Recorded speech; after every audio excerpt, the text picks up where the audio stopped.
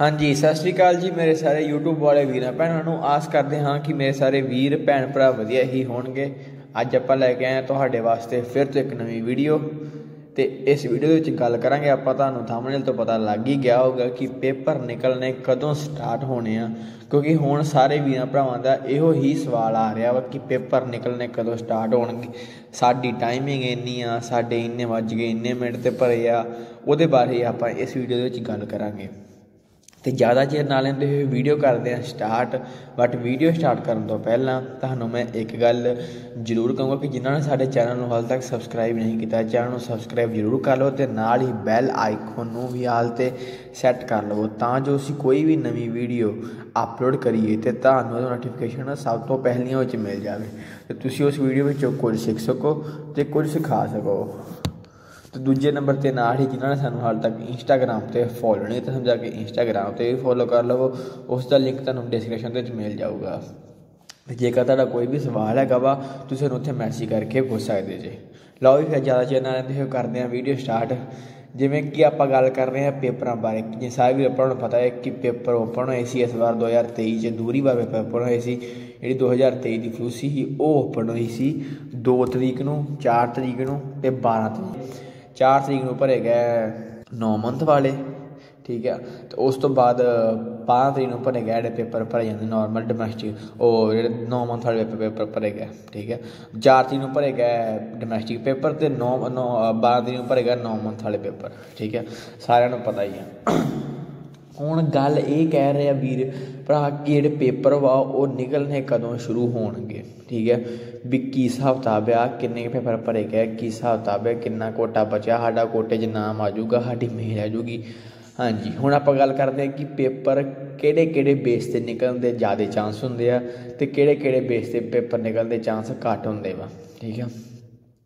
ਪਹਿਲੀ ਗੱਲ ਜਿਹੜੇ ਪੇਪਰ ਨਿਕਲਣ ਦੇ ਚਾਂਸ ਹੁੰਦੇ ਵਾ ਸੌਰੀ ਪੇਪਰ ਨਿਕਲਣ ਦੇ ਜਿਹੜੇ ਚਾਂਸ ਹੁੰਦੇ ਆ, ਉਹ ਹੁੰਦੇ ਆ ਤੁਹਾਡੇ ਮਾਲਕ ਤੇ ਡਿਪੈਂਡ ਹੁੰਦੇ ਆ ਕਿ ਤੁਹਾਡਾ ਜਿਹੜਾ ਮਾਲਕ ਵਾ, ਉਹ ਗਵਰਨਮੈਂਟ ਨੂੰ ਟੈਕਸ ਤਾਰ ਰਿਹਾ, ਸਾਰਾ ਸਾਰਾ ਮਤਲਬ ਕਿ ਸਹੀ ਤਰੀਕੇ ਨਾਲ ਫਰਾਡ ਤਰੀਕੇ ਨਾਲ ਟੈਕਸ ਨਹੀਂ ਤਾਰ ਰਿਹਾ, ਸਹੀ ਤਰੀਕੇ ਨਾਲ ਜੋ ਟੈਕਸ ਬੰਦਾ ਵਾ, ਉਹ ਟੈਕਸ ਤਾਰ ਰਿਹਾ ਵਾ ਮਾਲਕ, ਠੀਕ ਹੈ ਇਹ ਸਾਰਾ ਕੁਝ ਵੇਖਣ ਤੋਂ ਬਾਅਦ ਸਰਕਾਰ ਜਿਹੜਾ ਵਾ ਸਟੈਪ ਚੁੱਕਦੀ ਆ ਪੇਪਰ ਕੱਢਣ ਵਾਲਾ, ਕਿਹਦੇ ਪੇਪਰ ਕੱਢਣੇ ਆ, ਕਿਹਦੇ ਨਹੀਂ ਕੱਢਣੇ, ਠੀਕ ਹੈ ਉਸ ਤੋਂ ਬਾਅਦ ਕਈ ਵੀਰ ਭਰਾਵਾਂ ਦਾ ਇਹ ਸਵਾਲ ਵੀ ਹੁੰਦਾ ਵਾ ਮੈਨੂੰ ਕਿ ਜਿਹੜੇ ਪੇਪਰ ਵਾ ਅਸੀਂ ਨਾ ਇੱਕੋ ਮਾਲਕ ਕੋਲੋਂ 10 ਬੰਦਿਆਂ ਨੇ ਕਿ ਤਿੰਨ ਚੌਂ ਬੰਦਿਆਂ ਪੇਪਰ ਭਰਾਏ ਆ, ਠੀਕ ਆ?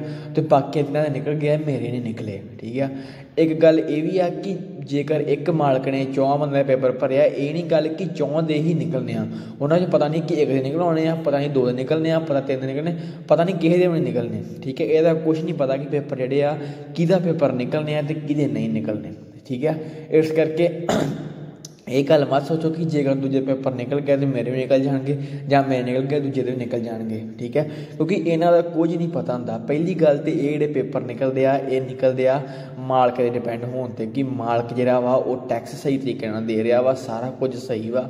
ਤੇ ਦੂਜੇ ਨੰਬਰ ਤੇ ਜਿਹੜੇ ਪੇਪਰ ਨਿਕਲਦੇ ਆ, ਉਹ ਆਪਣੀ ਕਹਿ ਦਈਏ ਕਿ ਜੇਕਰ ਭਰੇ ਹੋਣਗੇ, ਠੀਕ ਹੈ? ਹੁਣ ਤਾਂ ਮੈਂ ਦੱਸਦਾ ਕੀ ਚੱਕਰ ਹੁੰਦਾ ਵਾ, ਠੀਕ ਹੈ? ਅੱਜ ਕੱਲ ਕਈ ਵਕੀਲ ਸਾਹਿਬ ਵੀ ਕਰਦੇ ਆ, ਕੋਈ ਗੱਲਬਾਤ ਹੁੰਦੀ ਨਹੀਂ ਕਿਸੇ ਨਾਲ ਵੀ ਉਹਨਾਂ ਦੀ, ਠੀਕ ਹੈ? ਤੁਹਾਡੇ ਕੋਲ 2.5 ਲੱਖ 3 ਲੱਖ ਲੈ ਲੈਂਦੇ ਆ, ਕਿ ਪੇਪਰ ਤੁਹਾਡੇ ਭਰਤੇ ਆ, ਠੀਕ ਆ ਤੁਹਾਨੂੰ ਇੱਕ ਨਕਲੀ ਰਸੀਦ ਬਣਾ ਕੇ ਦੇ ਦਿੰਦੇ ਆ, ਠੀਕ ਆ ਰਸੀਦ ਹੁੰਦੀ ਸੇਮ ਟੂ ਸੇਮ ਜਿਵੇਂ ਓਰੀਜਨਲ ਰਸੀਦ ਹੁੰਦੀ ਆ, ਉਹਦੇ ਵਰਗੀ ਹੁੰਦੀ ਅਸਲੀ ਵਰਗੀ ਹੁੰਦੀ ਆ, ਪਰ ਉਹ ਹੁੰਦੀ ਨਕਲੀ ਆ, ਕਿ ਉਹਨਾਂ ਨੇ ਵੈਸੇ ਬਣਾਈ ਹੁੰਦੀ ਆ, ਠੀਕ ਹੈ ਉਸ ਤੋਂ ਬਾਅਦ ਦੋ ਚੌਂ ਪੰਜਾਂ ਮਹੀਨੇ ਤੱਕ ਤੁਹਾਨੂੰ ਉਹਨਾਂ ਨੇ ਕਹਿਣਾ, ਤੁਹਾਡੇ ਪੇਪਰ ਨਹੀਂ ਨਿਕਲੇ ਠੀਕ ਆ। ਤੇ ਤੁਸੀਂ ਮੈਨੂੰ 3 ਲੱਖ ਦਿੱਤਾ ਸੀ ਤੇ ਮੇਰੇ ਕੋਲ 2 ਲੱਖ ਲੈ ਲਓ ਵਾਸਤੇ 1 ਲੱਖ ਮੇਰਾ ਲੱਗ ਗਿਆ ਵਾ, ਪੇਪਰ ਪੇਪਰ ਭਰਨ ਤੇ ਠੀਕ 1 ਲੱਖ ਉਹਨੇ ਉਹ ਬਚਾ ਲੈਣਾ ਆਪਦੇ ਕੋਲ। ਪੇਪਰ ਭਰਦੇ ਨਹੀਂ ਆ, ਠੀਕ ਹੈ ਤੇ ਤੁਹਾਨੂੰ ਬਸ ਕਹਿ ਦਿੰਦੇ ਆ ਕਿ ਜਿਹੜੇ ਪੇਪਰ ਵਾ, ਇਹ ਭਰ ਦਿੱਤੇ ਆ, ਠੀਕ ਹੈ ਇਹ ਵੀ ਇੱਕ ਬਹੁਤ ਤਕੜਾ ਫਰਾਡ ਵਾ, ਠੀਕ ਹੈ ਕਿਉਂਕਿ ਕਈ ਵੀਰ ਭਰਾ ਕੀ ਕਰਦੇ ਆ ਫੋਨ ਚੁੱਕਦੇ ਆ, ਫੋਨ ਤੋਂ ਕੋਈ ਨਾ ਕੋਈ ਲੱਭਦੇ ਏਜੰਟ ਆਨਲਾਈਨ ਏਜੰਟ ਜੋ ਲੱਭ ਕੇ ਉਹਨੂੰ ਪਾਸਪੋਰਟ ਸੈਂਡ ਕਰ ਦਿੰਦੇ ਆ, ਠੀਕ ਹੈ, ਤੇ ਬਾਅਦ ਵਿੱਚ ਉਹਨੂੰ ਪੈਸੇ ਸੈਂਡ ਕਰ ਦਿੰਦੇ ਆ। ਇਹ ਉਹਨਾਂ ਵਾਸਤੇ ਬਹੁਤ ਗਲਤ ਗੱਲ ਆ, ਜਿਹੜੇ ਵੀਰ ਭਰਾ ਇਦਾਂ ਕਰਦੇ ਆ, ਕਿਉਂਕਿ ਉਹਨਾਂ ਨੂੰ ਨਾਰਮਲੀ ਗੱਲ ਕਿ ਅੱਜ ਦੇ ਸਮੇਂ ਦੇ ਵਿੱਚ ਕਿਸੇ ਤੇ ਵੀ ਆਪਾਂ ਯਕੀਨ ਨਹੀਂ ਕਰ ਸਕਦੇ, ਠੀਕ ਹੈ। ਇਸ ਕਰਕੇ ਤੁਹਾਨੂੰ ਮੈਂ ਇਹ ਸਲਾਹ ਵੀ ਦਊਂਗਾ ਕਿ ਜਦੋਂ ਪੇਪਰ ਭਰਦੇ ਹੁੰਦੇ ਜੇ, ਉਹਨਾਂ ਨਾਲ ਗੱਲ ਕਰ ਆਪਣੇ ਮਾਲਕਾਂ ਨਾਲ ਗੱਲ ਕਰਕੇ ਸਾਰਾ ਪਤਾ ਲੱਗੇ ਕਿ ਜਿੱਥੇ ਭਰੇ ਗਏ ਕਿਹੜੇ ਸ਼ਹਿਰ 'ਚ ਭਰੇ ਗਏ ਕੀ ਹਿਸਾਬ ਕਿਤਾਬ ਹੈ ਇਹ ਸਾਰਾ ਕੁਝ ਕਰਨ ਤੋਂ ਬਾਅਦ ਹੀ ਜਿਹੜੇ ਪੇਪਰ ਵਾ, ਆਪਣੇ ਭਰਾਇਆ ਕਰੋ। ਠੀਕ ਹੈ?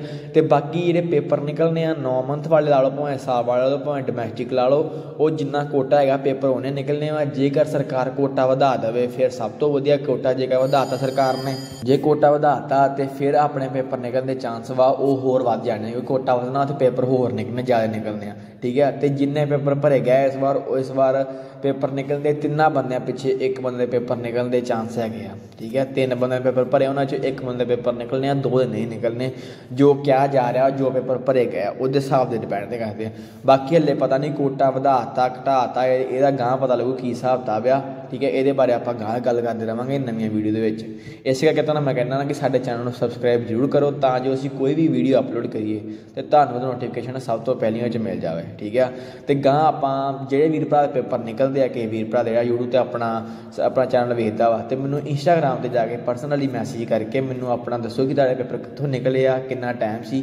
ਜੇਕਰ ਤੁਸੀਂ ਇੱਥੇ ਅ, YouTube ਤੇ ਨਹੀਂ ਦੱਸਣਾ ਚਾਹੁੰਦੇ ਤੇ ਮੈਂ ਆਪੇ ਬਾਅਦ ਵਿੱਚ ਵੀਡੀਓ ਬਣਾ ਕੇ ਕਰਦਾ ਰਹੂੰਗਾ। ਲੋ ਜੀ ਮਿੱਤਰੋ ਇਸ ਵੀਡੀਓ ਸਿਰਫ ਇੰਨਾ ਹੀ ਮਿਲਦੇ ਆ ਤੁਹਾਨੂੰ ਆਪਾਂ ਨੈਕਸਟ ਵੀਡੀਓ ਦੇ ਵਿੱਚ। ਤੇ ਜੇਕਰ ਵੀਡੀਓ ਵਧੀਆ ਲੱਗੀ ਹੋਵੇ ਵੀਡੀਓ ਨੂੰ ਲਾਈਕ ਸ਼ੇਅਰ ਕਮੈਂਟ ਜ਼ਰੂਰ ਕਰਿਓ। ਤੇ ਉਹਨਾਂ ਚਿਰ ਲਈ ਸਤਿ ਸ਼੍ਰੀ ਅਕਾਲ ਜੀ ਤੇ ਟੇਕ ਕੇਅਰ ਜੀ।